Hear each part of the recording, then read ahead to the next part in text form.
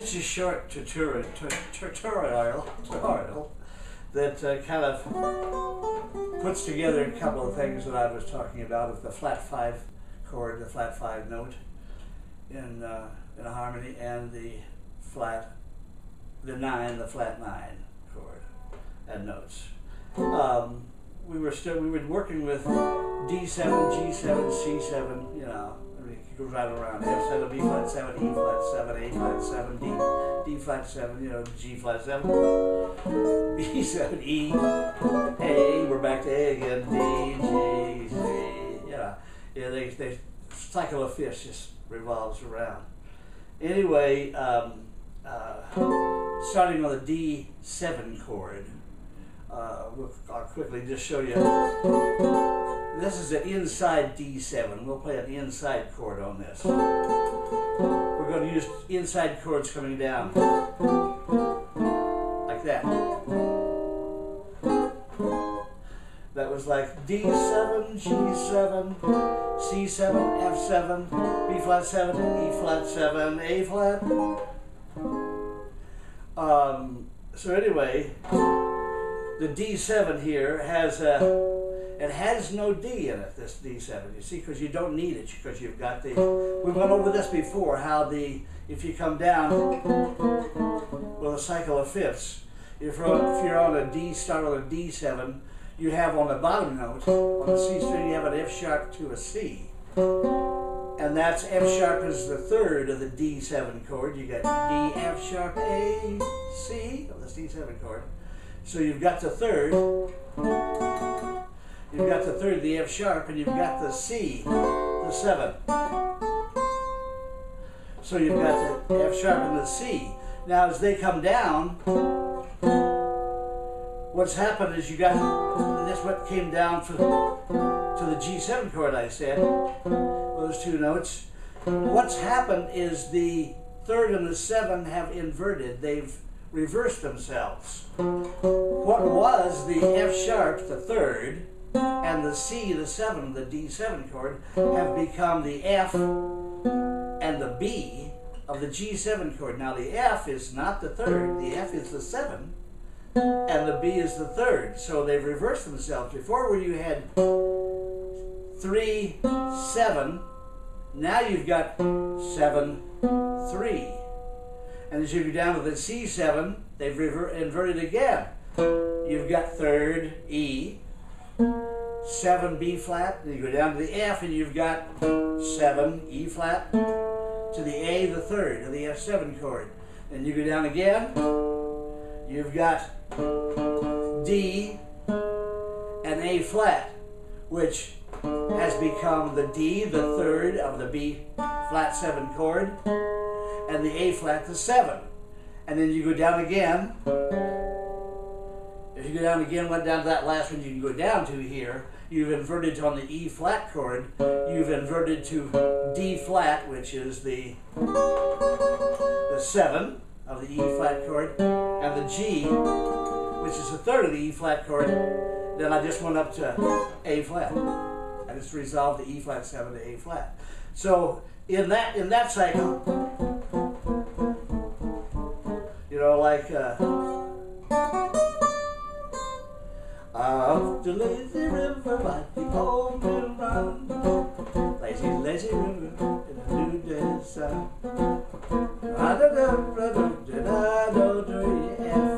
Away your trouble dream, a dream is me. Lazy river, a robin song.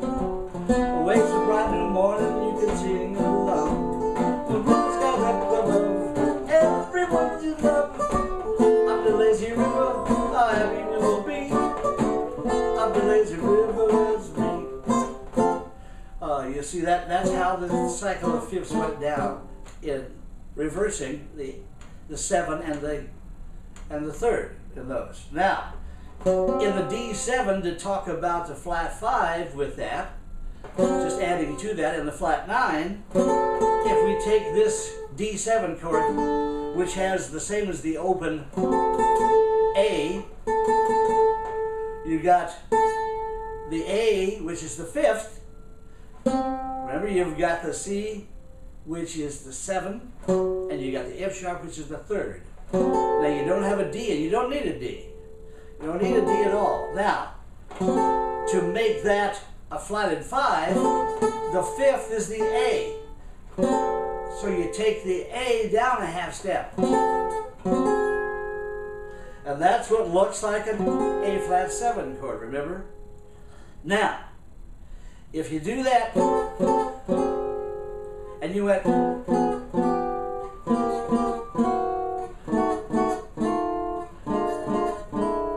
what you're doing is you have the D7 with the third, the 7, and the 5 to the flat 5.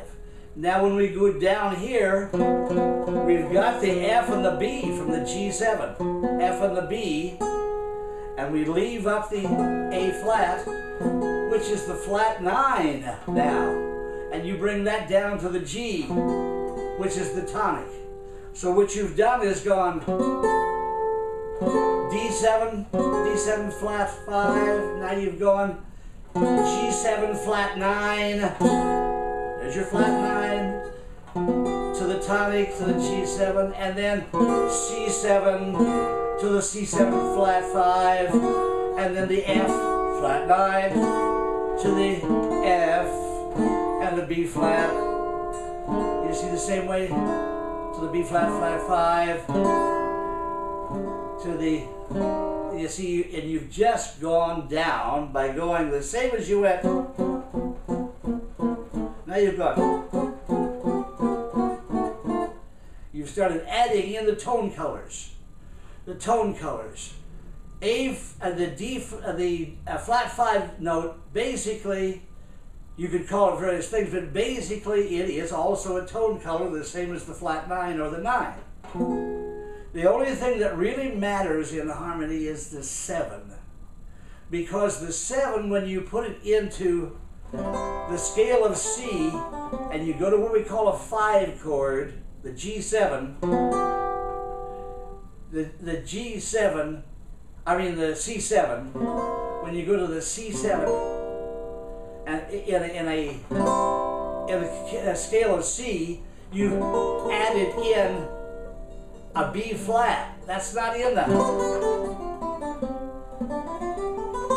It's there. You've added in a B flat. And when you add that B flat in, that's one flat, and that's really the scale of F.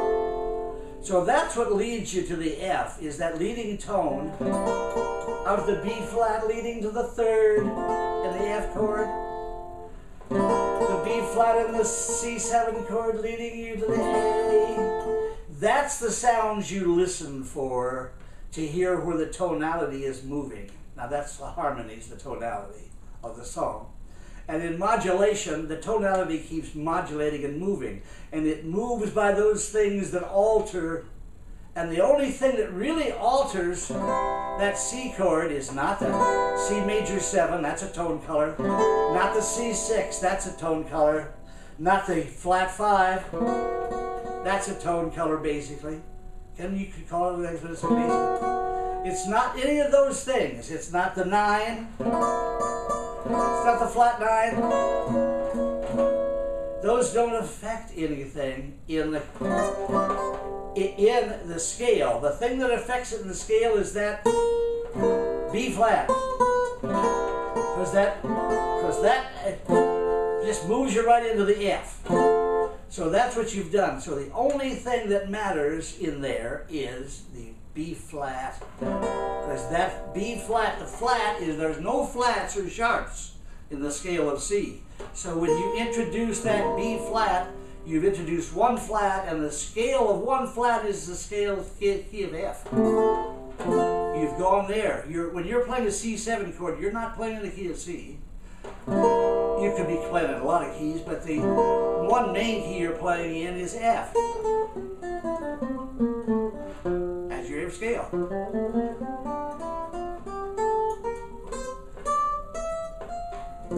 That's your F scale, you see, with that B flat it. So that's what you've done. So, if we've got the D7 inside and we use the flat 5, we're just adding tone colors now. Now you got the flat 9, G flat 9 to the G7. Now you got the C7 to the C7 flat 5. Now you've got the F7 flat 9 to the F7 tonic. And then you've got the B flat, straight B flat 7 chord to the flat 5 and then you've got, see how they move around? Now, since, since the D flat is entered into that E flat, the last one we use, it goes off to the key of A flat at that point. So, so you can really hear by listening to those. The other thing that's very important is the minor. Because an F minor chord, an F major chord is in the scale of F. An F minor chord is not in the scale of F. It's a par called a parallel minor. The relative minor that's in the scale of F is D minor. When you play a D minor in F, you're in a relative minor. When you play an F minor in an F major, you're in a parallel minor because that introduces a whole new thing. And what it introduces is the key of A flat. Hear it? Hear the F to the D minor? You see? So you got to listen to see what happens. The two notes that really affect the harmonies, that really affect the harmonies forget the tone colors and all the other. Forget fourth harmonies. I was talking about those with with Johnny Gill last night and with uh, with uh, Simon Wettenhall. We were talking about harmonies, poly, uh, uh, polyphonic harmonies, like modern chords. When you add the modern chords, you've got an E minor seven over the top of of a C you got a C major 9 chord because it's got a major 7. Now you can't put this natural 7 in because then you've got a whole other thing when you introduce that B flat. But as long as you have that B natural in there, you've got an E minor over the top of a of a, of a C. You, you, you're, you're not altering anything. That's two different keys at the same time. That's why it's called polyphonic music. You've got, like if you had a D chord over the top of a C. That's legitimate, that's legitimate. That's used in Oh, it's a long, long while from May to December. Oh, the days grow. Now look here.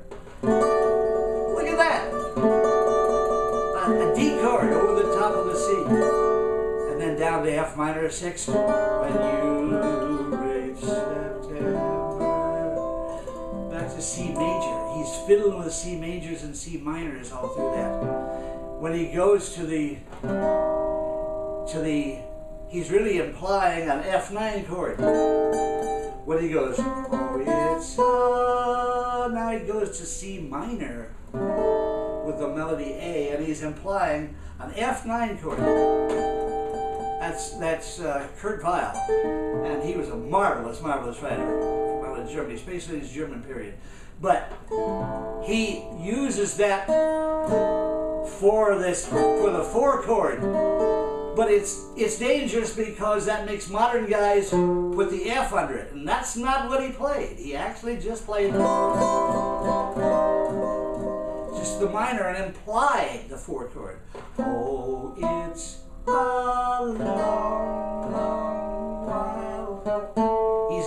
implying that A and that F. And then it goes up to the, the G goes up to the A flat chord. Still like a C minor, but you've got a, an augmented fifth. The G augmented fifth makes an A flat chord from the C minor. And then the melody is up the A flat chord. C, E flat, A flat, then back to the C chord. C major where you started, C major. Then C, E, G. Now here's where that polyphony comes in. The D over the C, and then the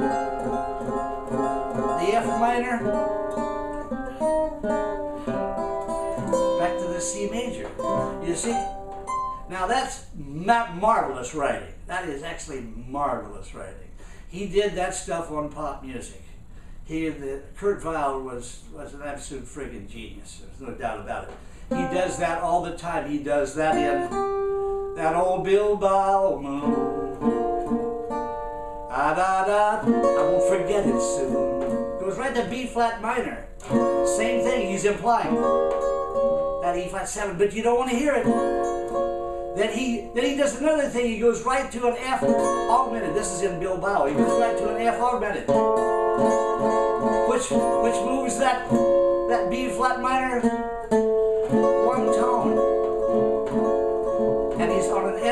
Chord, and that leads back to the B, the B flat major. He he he was a marvelous marvelous composer. There's no doubt about it, and he let his classical music overlap into his pop music. That's Kurt Weill. I'm going to stop now, but where we've gone, I'll get to Kurt Weill and we'll go into all that other stuff, which introduces the polyphonic harmony. Different keys at the same time, at the same time. But before that, we just had tone colors. That's all in the normal scale. Tone colors in the normal scale, and remember the, the seven adds a new note, a new flat or sharp into the scale. And when it does it, it goes, throws it into a different key immediately. But the major seven doesn't. It's a tone. The A, the six is a tone color. The flat five is a tone color for all practical purposes. We can we can use it for other things. But now this also introduces the the the the flat nine. Now we'll also get back to how the flat nine is really a, a diminished chord. Because here's your C7 flat nine, and here's a C sharp diminished chord. You're just taking a C sharp diminished chord and putting a C under it. That's what a flat nine does, and that's how, that's what makes it, I'll explain later, what makes it modulate to other keys so easily. So if you listen to those things, if you listen to those introduction those different tones, you can hear where the music is going. You can follow the music around because you can hear by those, when you learn those notes, hear those notes, it sends you off into a different tonality. Sends you into a different tonality. But we'll get to Kurt Weill, we'll get to all those things, if you want to, if you want to. Anyway, that's it for, for right now for the flat five, flat nine, which was on a cycle of fifths.